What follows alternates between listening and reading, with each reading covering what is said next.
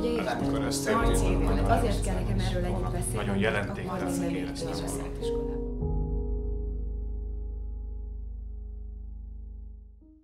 idén lett 9 éves. Marci nagyon szeret iskolába járni, meg a rakott krumplit is imádja. Marcinak van egy hatalmas legó gyűjteménye, amire nagyon büszke. Fogad most néha még most is elfelejt.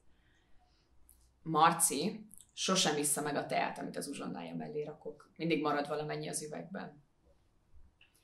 Marci nagyon szeret a szomszéd gyerekekkel számháborúzni, főleg sötétedés után. Marci könnyen megfázik, úgyhogy nagyon kell vigyáznunk az esti szaladgálásokkal. Marcinak mindig segítünk a házi feladatoknál. Marci az egyetlen gyermekem. Marcika ma nagyon elfáradt az iskolában, és tegnap óta megint csorog az orra.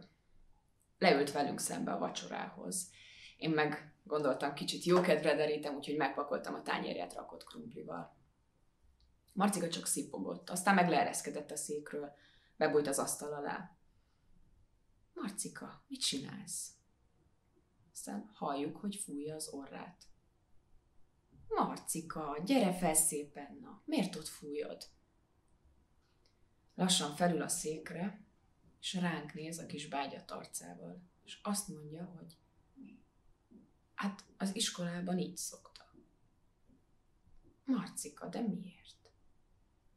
Hát a tanítónéni múltkor is ráüvöltött, hogy mennyire undorító, és neveletlen, és ne fújja az orrát az osztálytársai előtt. Hát mit képzel magáról?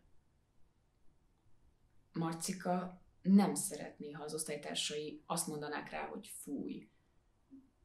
Vagy elfordulnának tőle, vagy nem lennének a barátai.